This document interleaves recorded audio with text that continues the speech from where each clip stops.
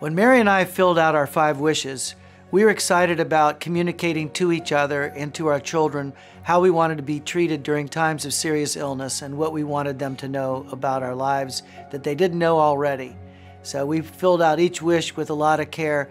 When it came to wish two and the section dealing with life support treatment, which is often one of the most sensitive and difficult issues to resolve by individuals filling out five wishes, we were very clear and simple. We said we want the teachings of the Catholic Church followed on matters of life support treatment.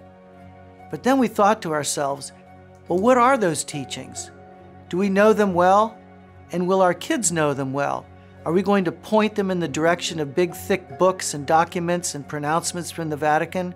Or is there a way that we can make it easier for them so that they know exactly how they can fulfill our wish to follow the teachings of the Catholic Church? So I spent six months studying the teachings of the Catholic Church on life support treatment and the important moral questions involved in end of life care.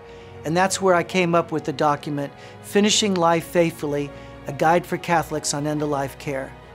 I think this document is a wonderful companion for Five Wishes because it helps inform your decision making on how you can be faithful during times of serious illness and so your loved ones can follow your wishes the way you would like them to be followed in a way that delights heaven.